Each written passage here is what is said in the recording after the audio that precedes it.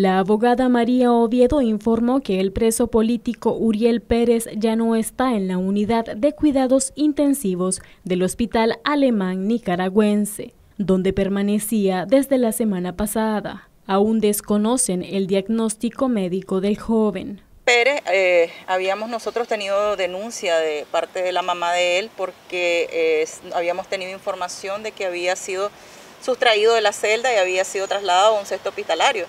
Esa información se tuvo un día sábado y aproximadamente un día miércoles eh, se pudo confirmar porque la mamá de Uriel Pérez anduvo investigando en cada uno de los centros hospitalarios y eh, cuando llegó al hospital alemán le informaron de que efectivamente él se encontraba desde el día sábado internado, entubado en, la unidad de cuidados intensivos y eh, su situación de salud era grave.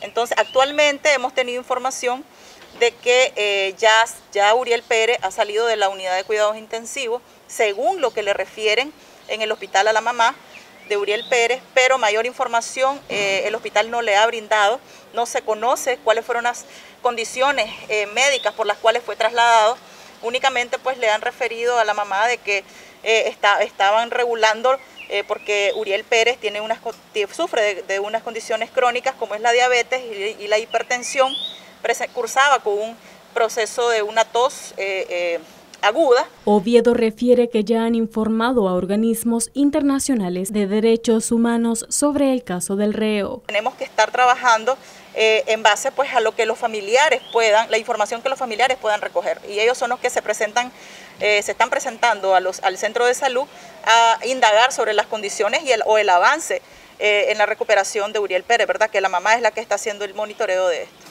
¿Ustedes ya anunciaron esto ante organismos internacionales? Sí, el mismo día que, nos, que se presentó eh, la mamá de Uriel Pérez eh, a la Comisión Permanente de Derechos Humanos, presentó un informe eh, ante la CIDH y ante la Oficina de la Alta Comisionada de las Naciones Unidas y ya ellos tienen conocimiento de, de las condiciones de salud de Uriel y vamos a darle el seguimiento en ese sentido. Noticias 12, Anduriña Ortiz.